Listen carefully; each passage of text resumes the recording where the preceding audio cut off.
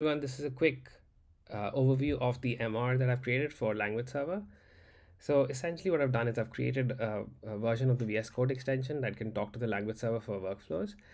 Uh, so what the v VS Code extension essentially invokes a method on the language server to say start this workflow uh, using a command.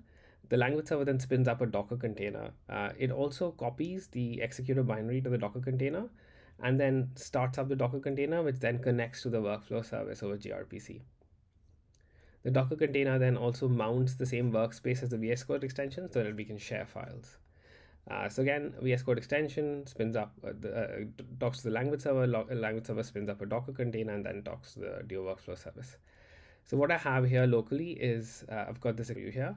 Um, and so I can go ahead and if I say Docker PS right now, there's no, there are no Docker containers running. I can go ahead and just say start your workflow and I say test. Uh, this is the goal I have to enter. For now, it doesn't really matter. And then here's a container image. Uh, so this I can provide any container image here. Um, and so I say Python, and that should then start up the Docker container. So as you can see here, I'm running the Duo workflow executor, which has been copied over to the container. This is like the standard Python container, but I'm copying the executor so that um, we can then connect over to the uh, Duo workflow service.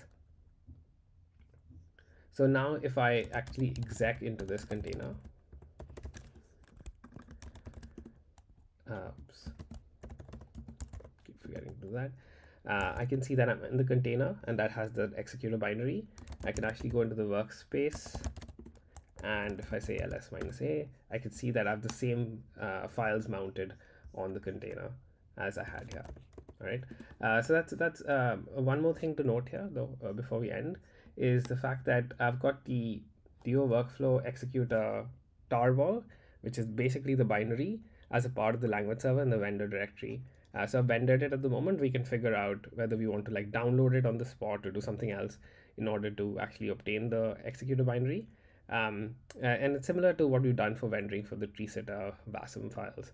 So this is just the binaries of file rendered in. That's it. Thank you.